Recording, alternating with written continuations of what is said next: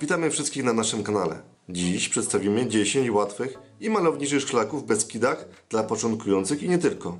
Miejsca ułożone są losowo.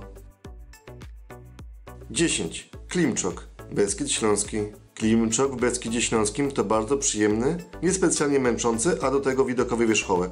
Wznosi się na wysokość 1117 metrów nad poziomem morza i znajduje się na północno-wschodniej części pasma Baraniej Góry. Turyści najchętniej wybierają opcję dojścia na szczyt z Bielska Białej lub z miasta Szczyrk.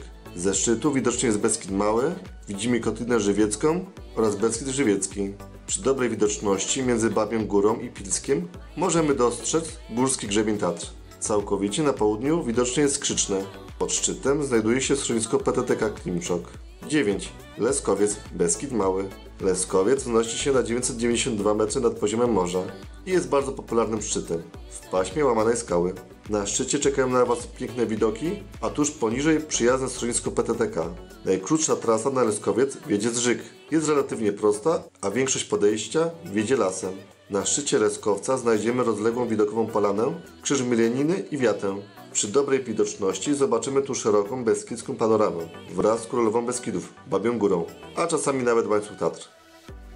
8. Góra Żar, Beskid Mały.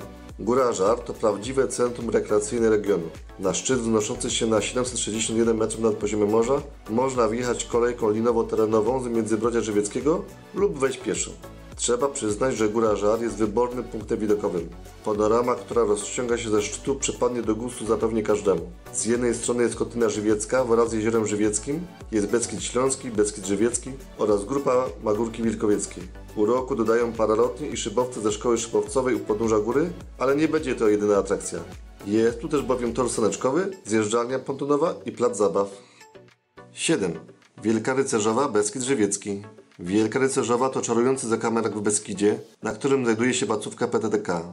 Wielka Rycerzowa jest częściowo zalesionym szczytem, który wchodzi w skład grupy Wielkiej Raczy. Wznosi się ona na wysokość 1226 metrów nad poziomem morza i przebiega tędy granica kraju oraz Wielki Europejski Dział Wodny. Z hali rycerzowej rozciągają się wspaniałe widoki na Beskid Śląski oraz Beskid Żywiecki.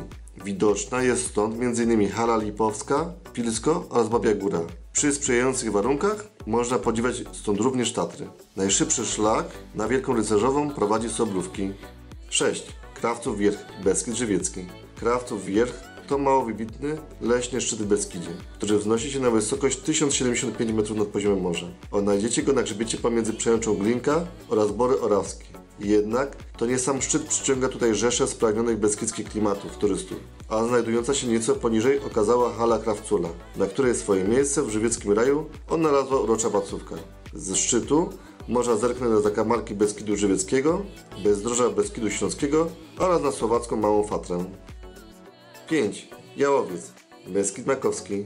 Jałowiec o łatwiej do zapamiętania wysokości 1111 metrów nad poziomem morza jest głównym szczytem pasma jałowieckiego, wznoszącego się po północnej stronie doliny rzeki Skawicy, gdzie położona jest znana miejscowość Zawoja. Z samego szczytu widać Mądralową, Pilsko, Lesiankę, dalej Baranią Górę, Malinowską Skałę i Skrzyczne. Poniżej na przełęczne Opaczne znajduje się schronisko. Oferuje wyjątkową panoramę całego pasma Policy i Babiej Góry.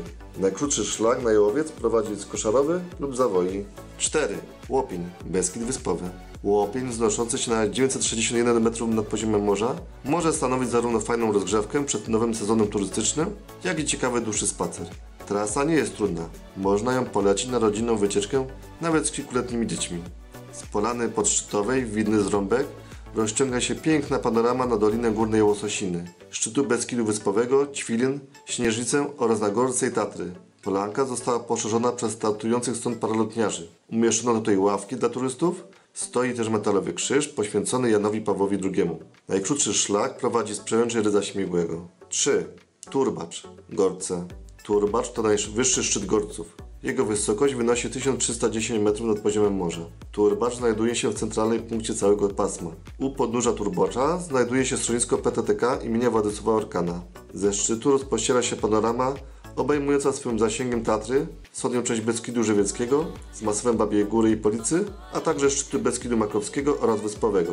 Nieco poniżej szczytu otwiera się natomiast widok na pieniny z jeziorem Czorszczyńskim, a także Spisz. Na Turbacz dzięki jego położeniu w centralnej części pasma Gorców można dotrzeć do wielu miejscowości znajdujących się u jego podnóża. Najpopularniejsze trasy to najkrótsza z Obidowej oraz Nowego Targu, Łopusznej, Koninek czy Rabki Zdrój. 2. Jaworzyna Krynicka, Beskid Sądecki. Jaworzynę Krynicką zalicza się do łatwych szlaków w Beskidach. Wznosi się na 1114 metrów nad poziomem morza. Na jej wierzchołek kursuje z Doliny Czarnego Potoku kolej gondolowa. Góra jest dobrym i masowo odwiedzanym punktem widokowym. Panorama górska, oglądana z kilku dogodnych miejsc, obejmuje w sumie cały horyzont, czyli 360 stopni. Widać stąd spory fragment Beskidu Niskiego, grzbiety górskie w otoczeniu źródłowej części Doliny Białej, a dalej charakterystyczne wypiętrzenie Lackowej. Dalej na południe za Doliną Muszynki widać góry leluchowskie i majączące za nimi już na Słowacji góry czergowskie.